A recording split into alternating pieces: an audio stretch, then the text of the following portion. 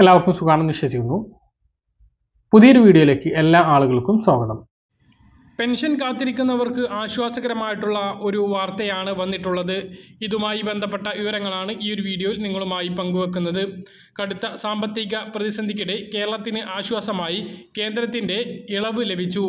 കിഫ്ബിയും pension കമ്പനിയും കണവെടുത്ത മൂവായിരത്തി ഒരുന്നൂറ്റി നാൽപ്പത് കോടി രൂപ ഈ സാമ്പത്തിക വർഷം കേരളത്തിന്റെ വായ്പാ പരിധിയിൽ നിന്നും വെട്ടിക്കുറച്ച നടപടി കേന്ദ്രം മരവിപ്പിച്ചു.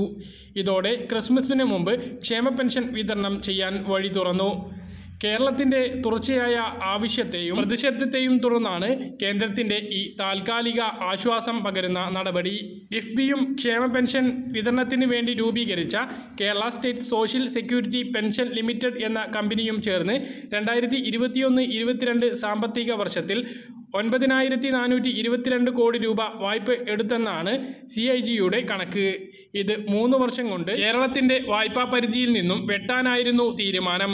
ഈ വർഷം മൂവായിരത്തി ഇരുന്നൂറ്റി നാൽപ്പത് കോടി രൂപ ഈ ഇനത്തിൽ കേരളത്തിന്റെ വായ്പാ പരിധിയിൽ നിന്നും വെട്ടിയിരുന്നു. ഈ തീരുമാനമാണ് കേരളത്തിന്റെ ആവശ്യം പരിഗണിച്ച് താൽക്കാലികമായി കേന്ദ്ര സർക്കാർ നീട്ടിവെച്ചിരിക്കുന്നത്. മാർച്ചിനു മുമ്പ് ഇത്രയും തുക കൂടി സംസ്ഥാനത്തിന് കടമെടുക്കാൻ ഇത് വഴിയൊരുക്കി. ഇതോടെ ചൊവ്വാഴ്ച രണ്ടായിരം കോടി രൂപ കടമെടുക്കാൻ ധനവകുപ്പ് തീരുമാനിച്ചു. ഈ തുകയിൽ ഭൂരിഭാഗവും ക്ഷേമ പെൻഷൻ വിതരണത്തിനാകും ഉപയോഗിക്കുക.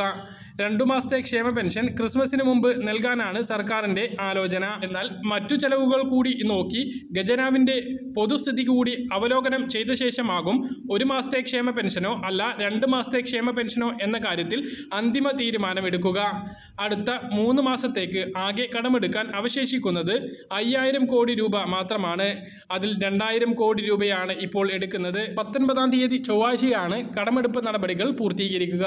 ഇതോടെ അവശേഷിക്കുന്നത് വെറും മൂവായിരം കോടി രൂപ മാത്രമായിരിക്കും ഈ പണം കൊണ്ട് വേണം രണ്ടായിരത്തി ഇരുപത്തി നാല് ജനുവരി മുതൽ മാർച്ച് വരെ കഴിച്ചു കൂട്ടുവാൻ. സാമ്പത്തിക വർഷാവസാനത്തെ ചെലവുകൾക്കായി മാർച്ച് മാസത്തിൽ മുപ്പതിനായിരം കോടി രൂപയെങ്കിലും സർക്കാരിന് ചെലവ് കണക്കാക്കുന്നുണ്ട്. ഈ തുക എങ്ങനെ കണ്ടെത്തും എന്ന കാര്യത്തിലുള്ള നെട്ടോട്ടത്തിലാണ് സർക്കാർ. ഇതിന്റെ ഭാഗമായി പദ്ധതി വിഹിതത്തിൽ വൻ വെട്ടിക്കുറവ് വരുത്താനാണ് സർക്കാർ ലക്ഷ്യമിടുന്നത്.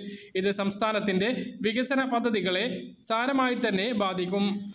നവകേരള സദസ്സ് അവസാനിക്കുന്നതിന് മുമ്പ് തന്നെ ക്രിസ്മസ് പെൻഷൻ വിതരണം നടത്തും എന്നുള്ളത് കൊണ്ട് തന്നെ ഇരുപത്തിരണ്ടിന് മുമ്പ് പെൻഷൻ വിതരണം നടത്തും. കടമെടുക്കുന്ന തുക ചൊവ്വാഴ്ച തന്നെ ലഭിക്കുകയാണ് എങ്കിൽ വരും ദിവസങ്ങളിൽ തന്നെ പെൻഷനും അക്കൗണ്ടിലെത്തും.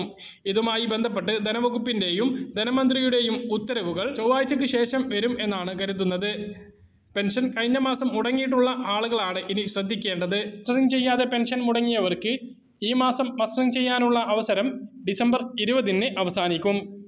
ഈ ഇരുപതിനുള്ളിൽ ഈ കാര്യം ചെയ്തിട്ടില്ല എങ്കിൽ നിലവിലെ നാല് മാസത്തെ പെൻഷനോടൊപ്പം ഡിസംബർ മാസത്തെ പെൻഷനും അവർക്ക് മുടങ്ങും. പിന്നീട് ജനുവരിയിലാണ് പെൻഷൻ മസ്റ്ററിംഗ് ചെയ്യാനുള്ള അവസരം ഉണ്ടാകുക.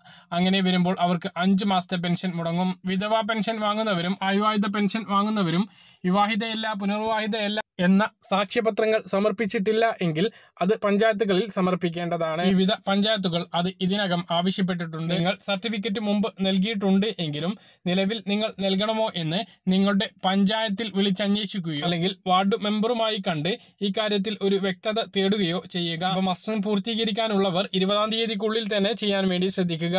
ക്രിസ്മസിന് മുമ്പ് പെൻഷൻ വിതരണം ഉണ്ട് എന്ന് ഏകദേശം ഉറപ്പായിട്ടുണ്ട്. അത് ഇനി മൂവായിരത്തി ഇരുന്നൂറാണോ ആയിരത്തി അറുന്നൂറാണോ എന്ന കാര്യത്തിലുള്ള ഉറപ്പ് ലഭിച്ചാൽ മാത്രം മതി.